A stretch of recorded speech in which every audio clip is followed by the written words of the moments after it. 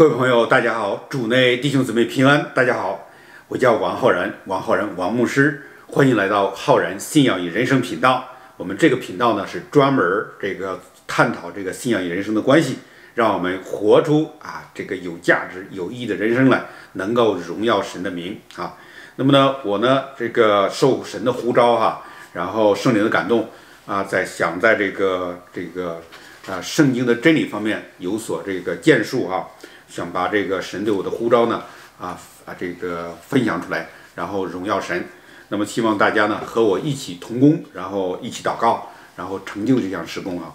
那么呢这里面啊以后还有很多的哈。我现在就是讲一个系列，这就是五十讲，这是大家这个应该是很感兴趣的，就是圣经到底是讲的什么。那么为什么要选这个题目呢？啊，我们知道圣经呢它是博大精深，是吧？六十六卷书。那么这里面呢，涉及到众多的文字和篇章，OK，跨越时代，跨越地理啊，跨越文化，是吧？啊，语言文字啊，很多，OK，很多人呢读了圣经以后觉得有困惑，这个读不懂啊。那么呢，呃，读了以后有时候产生了前后矛盾的，是吧？一看这个旧约里的这个血啊，这个血腥啊。然后到了新约呢，然后看到很多的仁爱，是吧？呃，很多东西呢，给我们理解起来是相差比较远。呃，这个读读的时候，呃，呃，有人在教会可能很多年，对吧？对圣经啊，知道一些，但是呢，要说出个一二三四五来，然后说的时候啊，还是没有信心。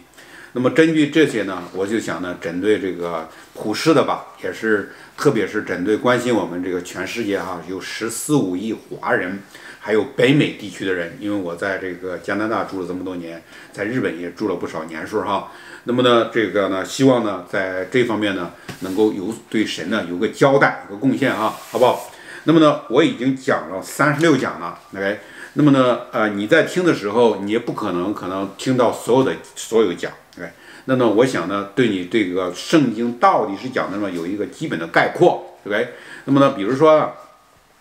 我讲的第一讲是吧？第一讲，你看一下，第一讲的讲呢，是不是圣经到底讲什么？第一讲呢，啊，这是说树立有神和神造世界的世界观，就是从这个世界观上谈到这个问题。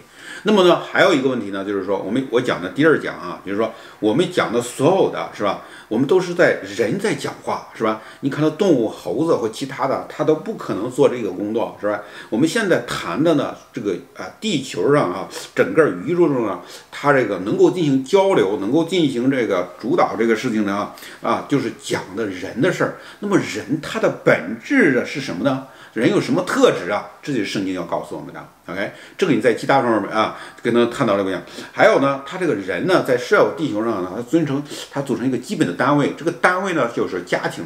那个单位家庭，圣经告诉我们说，啊，这个婚姻家庭啊，啊，它的是啊，是这个它的起源啊，婚姻制度本身是什么？它这个啊，婚姻呢，是由神所赐给夫妇双方的，是与神所立的约。哎，这是个角度哈，好不好？对，对吧？这是我想跟你们说的。还有呢，现在社会经常谈到一个问题啊，就是人权问题啊。人权呢是啊，这个大家呢所公认的人权，人权是吧？到底这个人权是吧？它为什么这么受人珍视啊？对吧？人权不可剥夺呀，对不对？你说我人权是吧？啊，人权这个人权外交是吧？啊，我这个宪法保障人权，联合国也保障人权，但有的国家保障不了，我就剥夺你言论自由、宗教信仰自由，是吧？甚至连你的这个免于恐惧的自由都没有，我就是让你恐惧着，让你这个听我的，是吧？对不对？所以呢，这是什么呢？我们说呢是叫天赋人权，哎，那么有这个天赋人权的道理，那就是神父人权。是吧？我们这个道理，圣经要告诉我们是神父的人权，所以呢，我们才不可以剥夺，是吧？很多东西啊，如果你明白圣经这些道理的话，很多东西你都可以解释了啊。公平正义啊，这仁爱的啊，这些普世价值，普世价值怎么回事呢？圣经告诉我们，这个普世价值神所赋予的，是神所保护的，对吧？对不对？所以呢，我们这我们谈的这个，今天呢，我们这谈的这个圣这个神圣经到底讲的什么？我可以说呢，我我就说，这是可以说我自己认为啊，应该说是一篇划时代的著作。哎，我现在呢，首先呢，把它作为一个视频做出来。那么呢，下下来呢，我们做会写一个浓缩本儿哎，讲这个圣经到底讲的什么？那么呢，我们就把这个小册子哈啊，啊以这个电子的方式，以这个印刷品的方式发给众多的信主的、不信主的啊朋友们、弟兄姊妹来看，然后呢，让神啊这个真正了解圣经讲的什么旧约、新约，是不是？然后呢，那么我们想，那么我们这个世界，那么神是大爱这个世界的，哎，神爱世人，甚至将他独生子赐给赐给我们嘛。所以呢，才能够让这个世界更加美好，是不是？让人类走出这个困境，特别是这个新冠哈啊，这次大瘟疫以后，这个造成的世界这个灾难，从这困境中真正走出来，好不好？那么今天呢，我想做个简短祷告。亲爱的巴夫，我们的天上的神，唯一的神啊，你大能的创造了宇宙的万物。今天我们很多人并不明白你的话语，也不知道你到底在讲的什么，想跟我们怎么说话。神求你使用你的仆人，然后呢，把这分五十讲的时间，把这个你到底要说的话讲给大家，特别是针对我们现在社会的现实和实际。主啊，一切荣耀颂赞都是你的。以上祷告奉爱我的主耶稣基督的名，阿门。嗯。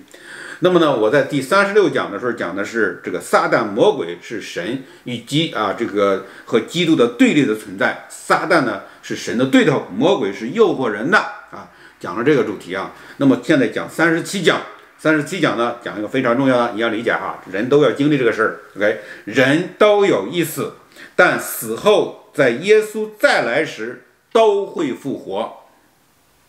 OK，你没听说过的啊？OK，那么呢，复活以后要面对神耶稣基督的审判啊！哎，这个对指导我们的人生啊，怎么活是吧？啊，怎么干是吧？行事为人是吧？我们怎么分配我们的时间都有重要意义，都有重要意义，好不好？那么呢，这个啊，我们说人都有一死，我们先说这个事儿，OK。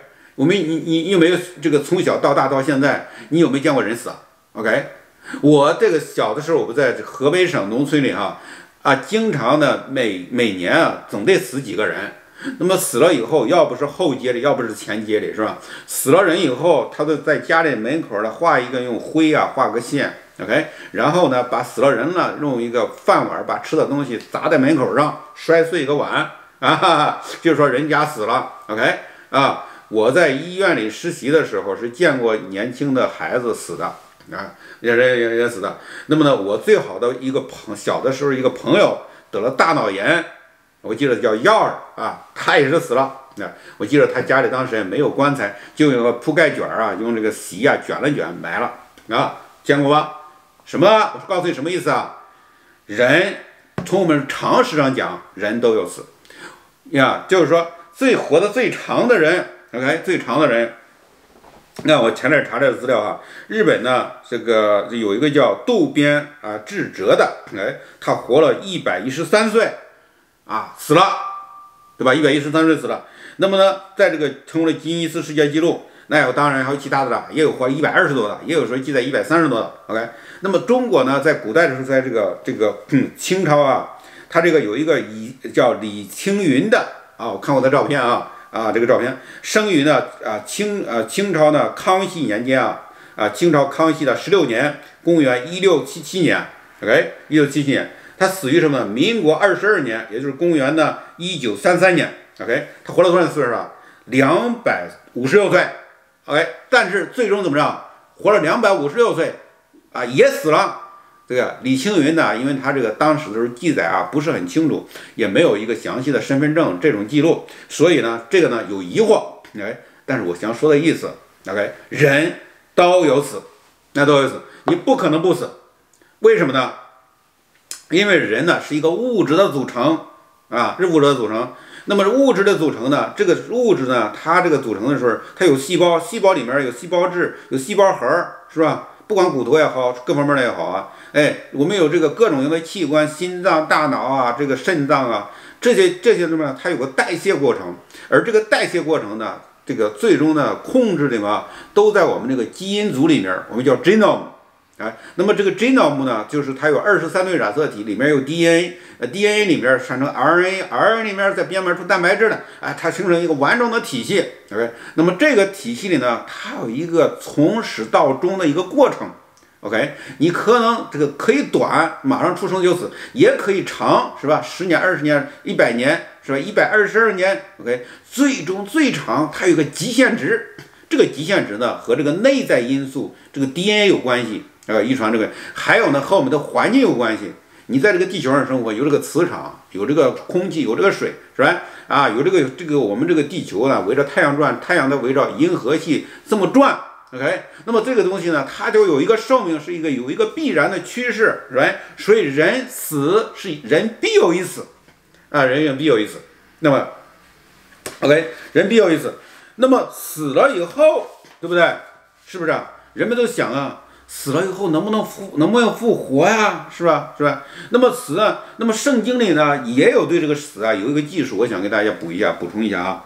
那个圣经啊特别讲到这个死的，有两个地方，有两本两个地方讲到死的啊。在这个传道书啊第三章一到二节，对不对？不好意思啊，OK，嗯嗯啊，说传道书的第三章一到二节啊，凡事都有定期，记着的啊，OK，天下万物都有定时。生有时，死有时，OK，栽种有时啊，播出是啊，是个就是拔出啊，所栽种的也有也有时，哎，总而言之啊，日万物啊都有个期限，就算这个太阳最后也不过超过一百亿年，地球现在四十五亿年了，是吧？对不对？那么呢，希伯来书啊九章二十七节说，哎，按照命定，人人都有一死，并且死后有审判。咱们先说这个死的事儿啊，OK。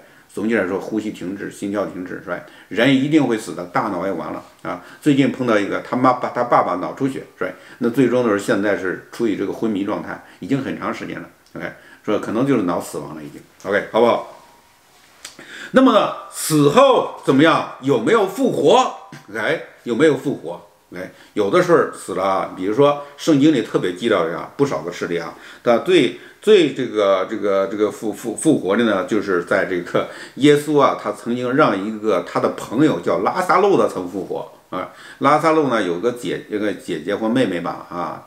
啊，叫啊，这个对这，他这个对吧，在他这个呢，记载这个十这个约翰福音第十一章里面。那我这里呢，啊，为了给大家讲述方便，也是大家体验一下圣经的内容嘛，所以呢，我们把这个经文给大家分享一下哈，好不好？他这个约翰福音第十一章二十五到二十七节说啊，耶稣对他说：“复活在我，生命在我。”OK，对不对？信我的人虽然死了，也必复活；凡活着信我的，必永远不死。你信这话吗？OK。是吧？这里是告诉什么呢？死后是可以复活的啊！死后，死后啊！他说：“听着，这是什么？复活在我。耶稣是神呢，他是圣父、圣子、圣灵的第二个位格。OK，万物都是借着他造的。他既然能够万物借着他造，那包括你人也被他造。那现在他是重新从开始造你一样，让你复活，有什么不可能的啊？我觉得是完全可能的，什么都是都是在他的。那么这是。后面人讲一个叫理性的复活啊，这个理性的复活啊，对不对？那凡嗯必永远不死啊，他就讲呢，这里耶稣把这个复活呢升至另一个高度，神性的高度啊，他告诉你这个啊，对不对？神性的高度啊，他说就就就马大说主啊，是的，OK 啊，我信你是基督，是神的儿子啊，就是呢降临到世界的，哎。那就是他信耶稣，先耶稣有这个大能啊，所以在这个约翰福音第十一章第最后的时候，四十三到四十五节，当时的时候拉萨路已经得病的时候死了四天了。那本来呢，这个马大他玛利亚他们想叫耶稣，他有医治的大能，OK，在他死以前能够把他不让他死，把病给治了，然后就死不了了嘛。哎，但是呢，耶稣呢，为了彰显神的荣耀，让知道神掌管万有，他是生命的主。OK，所以呢，他就故意让拉萨路死了，并且死了四天，也就是说，星期一死了以后，星期五啊，已经到第五天了，死了四天啊，或者是星期四或者星期五吧，反正对不对？然后呢，他去了以后，从坟墓里发了臭的拉萨路又让他复活过来。我们看一下这个经文怎么说的啊？OK，对不对？他说说了这话，那就大声的说，拉萨路出来。OK，那死人就出来了。OK。啊，手脚裹着布，脸上包着手巾，耶稣就对他说：“解开，叫他走。”哎，是不是？所以耶稣啊，就是说他啊，这个呼唤了神，神造了万物，有这个大能啊，他有复活的大能，是复活在我，生命在我。哎，是复活，生命都在耶稣。哎，你这活着还是死了，全在耶稣，哎，对吧？然后你他让你死，那你可能就死；他让你活，你肯定也也能活过来。这个不由我们自己说了。啊，这不要管，那就是说，从理性上讲，我们平常说的那个复活，OK，那么也有人哈，他死了，比如说他死了两个小时了，平常的时候绝对不能再复活，再活过来，一般死了四分钟，大脑就不可逆了，不可逆的逆转，不可逆的死亡，OK，死了八分钟或更长的，更是不可逆的死。但人就是真正死，就算心脏在恢复跳动，肾脏在恢复血流，这个人。大脑已经死掉，那大脑死，但是呢，有人啊实实在在做了一件事，死了两个小时才复活过来啊。那么这个复活呢，就像是这个拉萨路一样，OK，他就是这种理性的复活，OK，OK，复活是真实的，OK，那么是啊，他是可以复活的，而且耶稣就行了这个神迹，让这个拉萨路复活了啊。后过去也有那个像彼得啊，像这个啊，他们他们也让人复活过，是吧？也让人复活。那么呢？还有一个复活呢，就是说死后可以再活过来，啊啊，神性的复活啊。我们刚才讲了个是理性的复活，啊，比如说复相当于复苏一样嘛。那这个神性的复活是怎么回事呢？各位，我们平常这个死了以后啊，就是说，那么平常的大部分人就是埋了，然后是这认为是一个正常的过程，哎，死了又死，人死不能复生。啊，这是我们平常所谓的一种常识，那是各种常识。但是呢，也有这个复活的情况啊。刚才说的拉萨路复活，也有死了两个小时再活过来的，也有很多技术的死了以后再复活过来的。那我一个老师啊，牧师，他就是死，差不多死了十五分钟以后又活过来的啊，是不是又活过来了？心脏啊，心脏现在活得很正常，大脑各方面都不错，对不对？那么。还有一种复活，那么现在这种理性的复活啊，活过来以后还会再死的，它只是原来那个心这个停止跳动啊，呼吸停滞啊，然后大脑不没有电波了，这种这个生命意识的这个完全停停滞嘛，这种情这种一种情况，那么它会一旦恢复以后，它还会按照原来的步骤，按照这个定期慢慢慢慢死慢慢活慢慢死下去，是吧？啊，到了这个活活短一点，六十几岁、七十多岁啊，长一点八十多岁，是吧？啊，个别的像那个长寿的长寿老人，一百一十三岁啊，啊，这这个这个是这个是啊，这个两百五十六岁的啊，这这个是非常稀有的，会有的。哎，但是呢，不管最终的时候，还是按照那种生理过程会死的，因为你的 DNA、你的这个基因组、你的遗传和这个我们现在所生存的这个太阳系的这个生存环境，OK，那就是这个状态，你吃的就是那个饭。肯定是最后是那个生理要死，但是呢，有一种哈，我们叫我们叫神性的复活。那么这个神性的复活是什么呢？死后可以再活过来，哎，死后再活过来，不管你是烧了还是埋到地里的，多少年以后以后都可以活过来。那是什么呢？是你这个神知道你这个 DNA 的序列，神知道掌控着你这个你这个灵魂啊，掌控你这个灵魂。那么只要到那个时候啊，神他会让你活过来。OK，我们看一下这个经文哈。在这个，呃，我们首先看一下耶稣自己他怎么死后三天复活。OK，在这个马太福音啊第二十九章六第六节啊，他这个去了以后，那耶稣他不是死了吗？是吧？他在十字架上钉了以后，是吧？啊，他去了以后，他不在这里啊，照着他照着他所说的，他已经复活了啊，照着他所说已经复活了。你们到那里去看放安放安放的地方吗？啊，死了以后有个坟墓，那坟墓里面有那个人，现在呢那个坟墓那个人没了，对不对？不是偷了，人们都看着呢，不会的，哎，是他自己复活的。那么，在这个马可福音呢，第十第十六节的六到呃六章的五六节也是啊。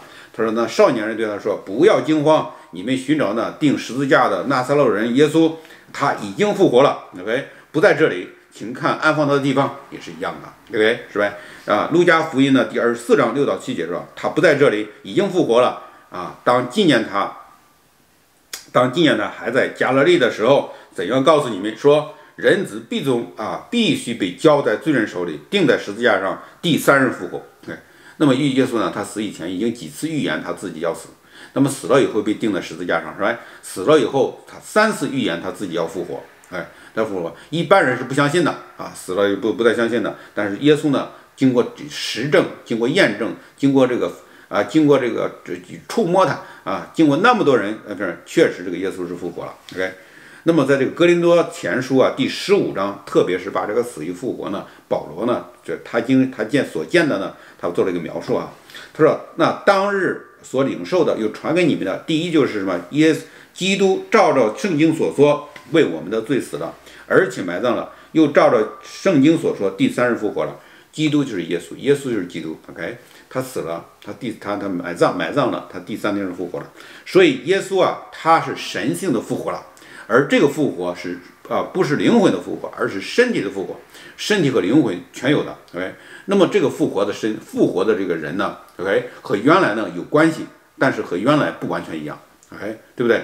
所以呢，这个。对吧？一个是理呃这个理性的复活，我们平常说的生理上那个，OK。那么另一个是神性的复活。那么神性这个复活，复活这个身体就永远不再死了，OK，是永永远远了啊，这个永远的。那么这个身体呢，和我们平常这个这个代谢啊，它已经完全彻底的发生了改变，已经不受这个规律的制约了。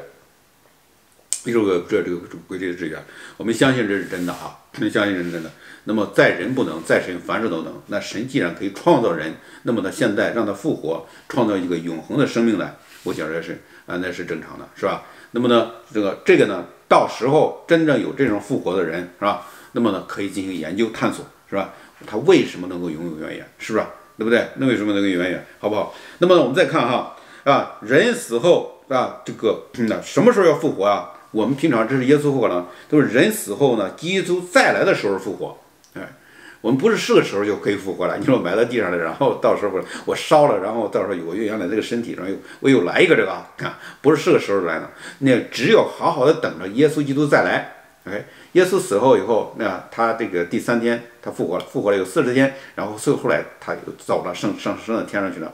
那升上天上去后，已经现在过了差不多两千年了。那一直在说耶稣基督再来，但耶稣自己也不知道，你看什么时候再来。那么，但是耶稣基督再来，这是肯定的事件，这个确确定的事件。那么，只有啊圣父、圣子、圣人的圣父知道啊，圣父知道。那么呢，我们现在呢，那很多条件正在呃正在准备当中。等这些条件都准备好的时候，那么耶稣再来了。OK，那么说耶稣基督他再来的时候，那么什么呢？人要复活。OK，那么在这个提萨罗尼迦前书啊。啊，提出人家后书，是？都有这方面技术。我们现在出于限于时间了，我就是把这个启示录的话给大家看一下啊。他说：“我又看见呢，因为给我给耶稣做见证的，并为神之道被斩首的灵魂和那些没有拜过兽啊兽像的，也没有在呃在额上和手上受过他印记的人的灵魂，他们都复活了，与基督一同作王一千年。这是头一次的复活，right？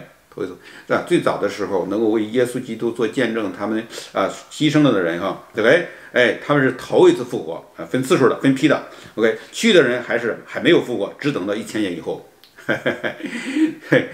第一次复活，耶稣再来的时候，一定要争取的那一批啊，争取那一批，你这个这个第一次，哎，那你就复活了。OK，那么给这个这个耶稣一同做王一千年啊，哈，这个是享受那一千年。OK，启示录第二十章第十二节这他说我又看见。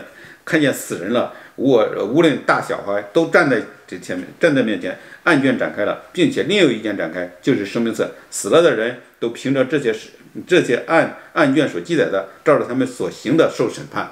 OK，记着了啊。OK，不仅有复活，如果没有复活，他没法审判你了。但是你复活了以后，OK，你必须复活，你一定能够复活。复活了以后，那又接受审判。那么这个审判，如果你啊，你真的是在生命册上，也就是信了耶稣的，那么。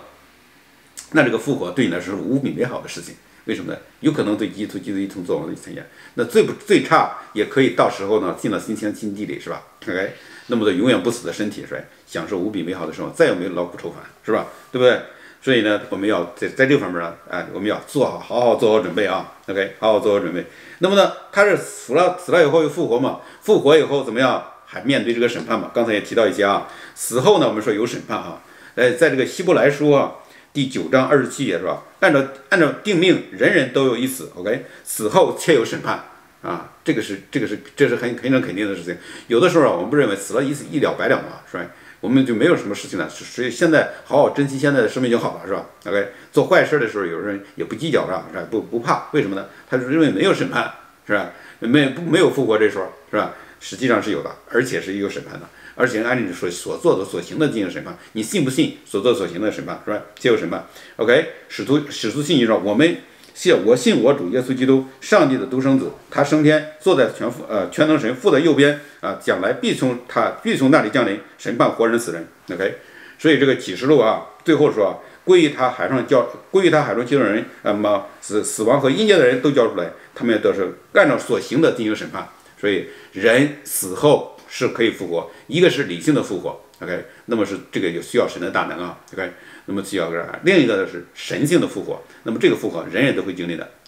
那么是这个发生在耶稣基督再来的时候，那么再来呢？第一批再来的时候，那第一批提上你可能和耶稣基督一同做王一千年的人，还有呢，经过这个以后，那么撒旦魔鬼呢，他们在那个时候受了剪扔到无底坑里嘛，对不对？那么最后的时候，他经过这个第二这后来的时候，那么进行等一千年过完了以后，所有的人都得复活啊，活着的也提上去啊，到这个时候他就分门别类的进行审判。那么呢，我们希望呢，就是说，那么这个时候呢，你要好好没有信的赶快信，是吧？那么因为你信了以后，那么就当你复活的时候，那么呢记在生命册里，那个时候，那么你赶不上第一批啊和耶稣基督一同做王做一千年，也可以赶得上啊，在审判的时候不至于扔到那个扔到那个火葫芦里面去，是吧？去受煎熬的永永久煎熬去，而是说 那个有机会，然后在新天新地里有你一个位子哈。有你的房房出来，然后呢，在这个吃那个生命树上的果子，吃吃这个生命河喝喝生命河里的水，和耶稣啊啊，这个在这个新天新地里啊，一直到做王，永永远远，是吧？对不对？那么是我们现在要为人生的后永永远远打好基础，好不好？所以呢，亲爱的朋友，亲爱的弟兄姊妹们，那么今天呢，我就把这个啊，这个圣经讲的一个非常重要的内容，到底讲的什么呢？就是人都是有意思。啊，那么死后呢？啊，这个耶稣再来的时候啊，会复活，复活以后会有审判，是吧？那么，那么我们呢？我们现在讲的啊，神性的复活，那么是这个是非常啊，掏多少钱买不来的。那么唯一的，你可以啊，在复活以后有这个享受这个永恒的生命，在新天新地里呢。那现在呢，你就赶快信耶稣啊，然后呢，这个持守你的信仰，然后呢，啊，做耶稣教导你要做的事情啊啊，爱神爱人，彼此相爱，是吧？宽恕啊，圣洁，对吧？不做不做那些邪恶的事情，好不好？也是这样的话，如果我们大家呢都能够按照这个方式去做，那么我们的家庭必将必将和睦啊，家庭必将幸福。那么我们的社会社区啊，毕竟和啊，毕竟那个协调，哎那么国家啊，这个人类也会在不久的将来啊，废除这些核武器，也不会随便释放病毒来伤害其他的人，好不好？那么今天呢，我都啊，这个就是圣经到底讲的什么？人都有意思，哎，死后啊，主耶稣再来的时候会有神，会有复活，复活后会有神的面临神的什么样的道理？给大家分享完了，希望你喜欢，并且给你家人朋友分享，然后转发点赞啊，然后让更多人知道。好，谢谢，我们再见。